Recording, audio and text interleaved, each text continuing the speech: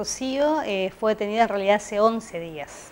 Este, hasta nosotros presentamos el martes de la semana pasada un habeas corpus que fue ante el doctor eh, Verón, eh, denunciando la ilegalidad de su detención. Este, ese, lamentablemente, hoy lo rechazaron, en el transcurso de la mañana nos citaron a una audiencia y lo rechaza el juez sin muchos fundamentos, nosotros lo apelamos y bueno, le tocará a la Cámara resolverlo finalmente, a la Cámara de, Casación que tenemos acá. Eh, respecto a la, a la, ilegalidad, que es lo que nosotros planteamos y con lo que fundamos este habeas corpus, eh, radica principalmente en que ella es detenida el día primero de febrero. Jamás desde el primero de febrero hasta el día de hoy eh, se le hizo comparecer al, juez que dictó la medida y tampoco se, le notifica formalmente de las causas. Recién el 8 de febrero, por cédula, se le notifica a, a sus defensores, que son el doctor eh, Paredes y el doctor Rey, de las causales. Durante todo este tiempo hubo especulaciones porque la detienen por peligro en la fuga, si era porque violó la restricción que en su momento había dictado el juzgado de instrucción que estaba a cargo del doctor Valor. Pero tengo entendido que la fiscal pidió la detención. La fiscal pide la detención este, manifestando que ella había salido del país. Ese es el motivo. Entonces el juez considera que hay presunción de que se iba a jugar. Ella, en realidad, ante esa primera denuncia que fue en diciembre, lo que el juzgado hace es hacerla comparecer comparece y le determinan nuevas medidas de conducta. Las medidas de conducta eran que se presentara ante una comisaría y dijera dónde está cada semana. Ella desde ese día, diciembre, hasta el día de su detención, lo hizo regularmente. No hubo ningún hecho nuevo. Con eso, técnicamente hablando, precluyó esa causa. No hubo desobediencia, aparte no podía haber desobediencia respecto a una sentencia que no está firme, que no es un dato menor. Nosotros hasta esta semana estábamos especulando qué es lo que pasó. Se dictó una, eh, una, prisión preventiva, hay un hecho nuevo, no, no pasó nada de eso. El juez en la resolución escueta de una, de una carilla y la siguiente dice que ella violó la prohibición que él estableció en su sentencia, lo que es gravísimo porque él mismo sabe que su sentencia no tiene ejecutoriedad no la puede exigir porque no está vigente. Hasta que, hasta que quede firme, ustedes apelaron a la Cámara de Al Superior Tribunal de Justicia, que en este caso es competente porque como el, tribunal es un correccional, la instancia superior es el Superior Tribunal de Justicia, no hay otra instancia. No, es lo mismo con Verón. de casación penal? No, en el caso de Verón sí, ellos, que es juzgado de instrucción, va a intervenir este, la Cámara de Apelaciones. No es el caso de eh, Jiménez. Jiménez no tiene forma de salvar su incompetencia. Esa es la realidad. Tanto él lo sabía, porque acá no estamos hablando, estamos hablando de arbitrariedad, no de desconocimiento del derecho, o capaz que sí, ¿no? Pero en realidad hay arbitrariedad.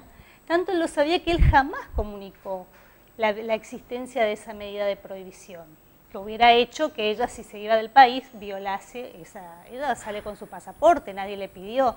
Lo único que en su momento le retuvieron fue este, el carnet de conductor y nunca más se lo dieron. La sentencia no está firme. Ella estuvo detenida desde el primero hasta hoy sin que el juez la haya hecho comparecer. O sea, esto es exceso y, por ahí la gente no lo comprende porque dice, bueno, tienen un prejuicio muy grande sobre ella, sobre su persona y piensan que bueno, es lo que se merece y lo que... Esto no se trata de lo que uno puede pensar que socialmente la gente merece, ¿no? Esto se trata de debido proceso. O sea, ustedes están cuestionando eh, tecnicismos jurídicos. Nosotros estamos, este, no tecnicismo, estamos hablando de que se violaron garantías.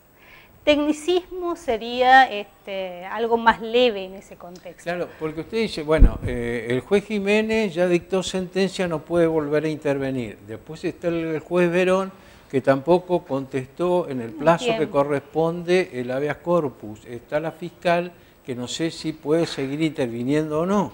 La fiscal tampoco. Si es incompetente el juez, en este caso eh, Jiménez, lo es también su fiscal. Esa es la verdad.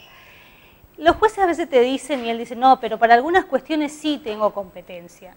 Hay una acordada del Superior Tribunal de Justicia que dice que si al momento de la sentencia del tribunal el imputado llega detenido, todo lo que signifique excarcelación, alguna modificación de la prisión, estamos hablando de una persona detenida, entonces sí interviene, aunque esté apelado. Pero este no era el caso, porque ella estaba libre, llegó a la sentencia libre y él no ordenó la inmediata detención. No hubo ningún hecho nuevo que pudiera hacer suponer que existía peligro de fuga, que es lo único que justificaría. Aun si él creyera que desobedeció, el Código de Procedimiento Penal es tan claro que dice, se la hace comparecer. Se no comparece, se decreta la rebeldía. Una vez rebelde, recién se, ordena la captura o la detención. Esto, estas son reglas procesales que son garantías para el ciudadano. Y estamos hablando de una ciudadana que además es abogada. O sea, que por ahí la gente queda con la idea de que es Miss Mundo o que no es una, es una abogada que tiene plena conciencia de las violaciones de sus derechos, lo que hace que sea más doloroso para ella transitar este momento.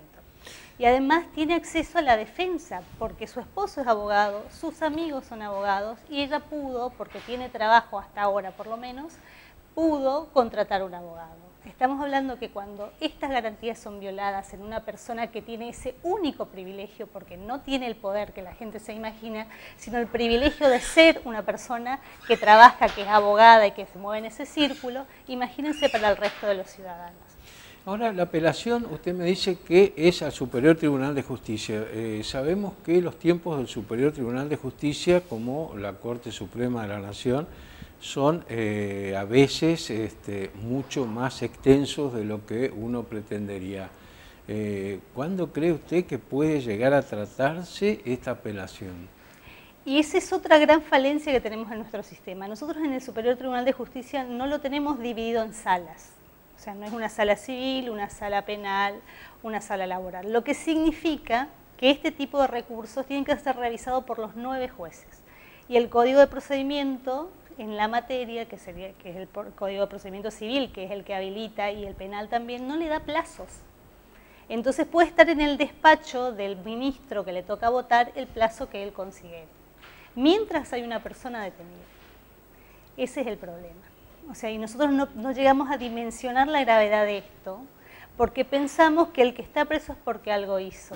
Entonces justificamos de alguna manera a este sistema, de esta justicia penal, que en el fondo todos sabemos que es corrupta, que es ineficiente, que está degradada. Nosotros presentamos el martes un habeas corpus, que no debe haber legislación más clara en cuanto a plazos, en cuanto a este, recaudos, que en 24 horas debería estar resuelto, y pasaron 7 días.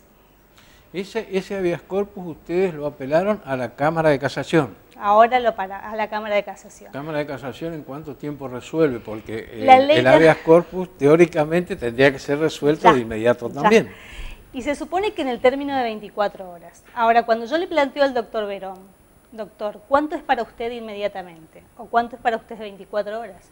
Y para mí son plazos, días hábiles, paso sábado, domingo, le digo, doctor, usted no me puede aplicar el Código de Procedimiento Penal cuando hablamos de derecho constitucional. O sea, yo le pregunto, ¿tenemos que tener esta charla con un juez? Que es el único límite que tiene el ciudadano del poder punitivo. O sea, si no está el juez para garantizar nuestros derechos, porque no está, o sea, no tenemos que entenderlo como que él está para, como justiciero y, digamos, canalizar los impulsos vengativos de la sociedad. Él está para aplicar la ley, para garantizar que se aplique conforme a derecho. No les importa lamentablemente, y no les importa, porque por ejemplo en el caso de Jiménez sabe que mientras todos discutimos, mientras se apela su inconcebible este, eh, sentencia, que ya se apelaría dos veces, porque en realidad termina modificando su sentencia, va a haber una persona que probablemente cumpla la pena sin que haya quedado firme. ¿Se dan cuenta? No sé si, si puedo ser clara con la gravedad, porque no es la única persona. Nosotros hablamos con Rocío este, en las visitas, porque ella pasa por momentos muy difíciles, porque esto, imagínense que es el bien más preciado que tenemos, está afectando su vida, está afectando su trabajo, que tome nota de las situaciones de las otras mujeres y que pueda dimensionar, porque a veces cuando nos toca pensamos, bueno, me tocó a mí o le tocó al otro, entender que esta es la lógica del sistema y entender además que le pasa por otras cosas que no tienen que ver con que sea justo o injusto. Le pasa por ser mujer, le pasa por no tener poder, por no tener contactos, por eso le pasa. Eh, como para redondear, eh, recordemos que eh, la condena a cuatro años de prisión fue eh, por homicidio culposo en accidente de tránsito. la víctima fue el Ramón Cabrera. Entonces, esta es la, la, condena que tiene hoy Rocío Santa Cruz a cuatro años de prisión, ¿no? Exactamente, ese es el hecho.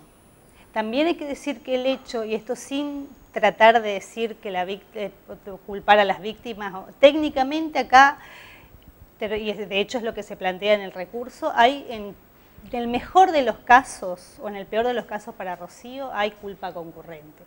Porque lo cierto es que la víctima, que además era un funcionario de policía de tránsito, agente de tránsito, tenía 1,45 de alcohol, conducía sin luces y conducía sin cascos. Lo que le pasó fue una desgracia pero fue una desgracia para ambos. Pudo haber sido al revés, pudo haber muerto ella, si él estaba en un auto, pudo haber... O sea, hay un flagelo que va más allá de la cuestión penal, que es lo que nosotros también vemos. Están queriendo dar una, una condena ejemplar a una mujer por un accidente culposo. O sea, no hubo jamás intención de lastimar a nadie y mucho menos de producir la muerte, y eso está, eso lo dice la propia sentencia. El caso de Rocío, Santa Cruz además es la excepción a la regla. La regla es que en los homicidios culposos no haya prisión, y menos una prisión preventiva. Y ella está en prisión preventiva. Usted me podrá decir, hagamos un relevamiento al sistema penal para que nos diga cuántos juicios por accidente de tránsito llegan a juicio oral y en cuánto tiempo. Se van a dar cuenta que la mayoría de estos juicios se terminan cerrando por prescripción, porque el Estado no persigue a este tipo de, delitos, no lo persiguen, no lo investigan, entonces caen en la prescripción. Lo terminan arreglando civilmente las compañías de seguro, etc. El caso de Rocío es apenas uno de los pocos que llega a un juicio oral y en esta velocidad y con este nivel además de saneamiento, que lamentablemente también este, colaboran a veces los prejuicios que tenemos sobre la persona porque dicen no la vimos llorar, la fiscal lo dice no lloró, por tanto es una psicópata. ¿A usted le parece que una, eh, fiscal o una funcionaria pública pueda perfilar a un imputado a partir de la expresión de su rostro en un juicio? De eso hablamos.